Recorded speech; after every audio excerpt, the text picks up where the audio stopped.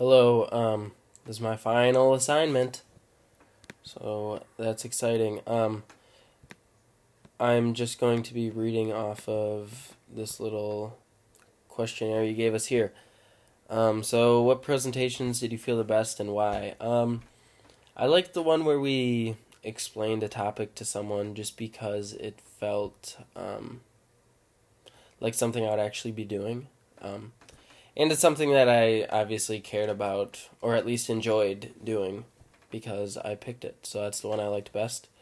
Um, redo, probably the first one we did, because I thought my voice sounded weird. But maybe that's just my voice. Um, what are two things you learned about presenting to an audience, and why do you feel they're important? Um, confident, always um, be confident but not cocky, I guess. Um, but just stand up straight. Don't lay in bed like I am now. Um, or sit up straight if you're sitting down. And then also just um, don't be scared. People aren't going to bite your head off or anything like that. Um, it can be kind of nerve wracking, especially if you're talking to someone like I talked to my boss today about getting a, a raise, and it was kind of nerve wracking.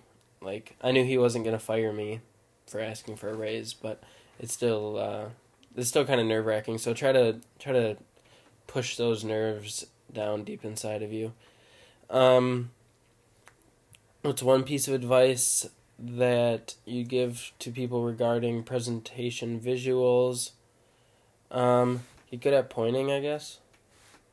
I've always wanted to be better than that uh, than I am. So like if you're pointing at something over there, or there, get good at that.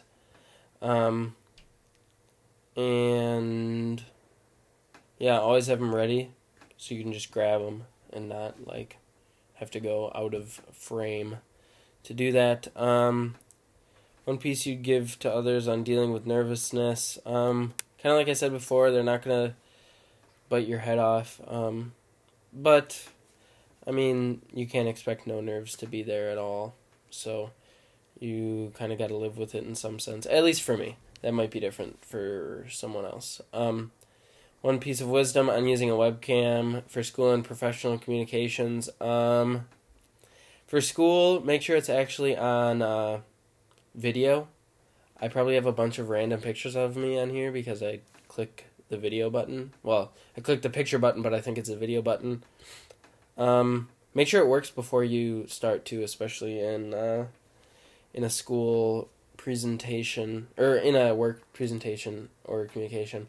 Also, I try to do this the best I can, but look at the camera like I am now, not like or not at the viewfinder like I am now.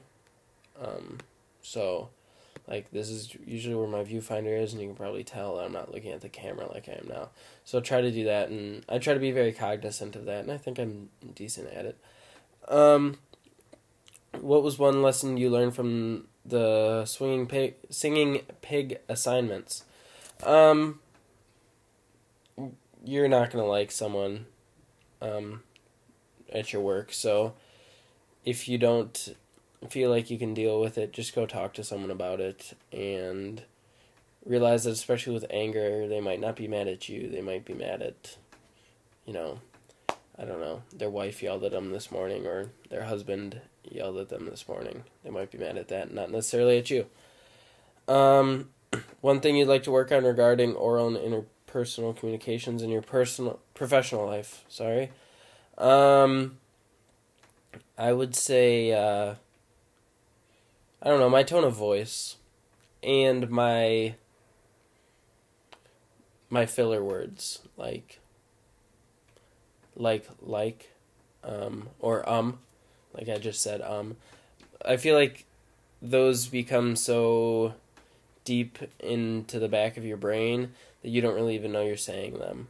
So I mean even if you do a I've seen stuff where people say don't say um but explain this and they're like um um um so i don't think you're aware of that you're saying it but i think that i need to work on that so that's it for this final presentation. There's no final exam. That's awesome. Um, thanks.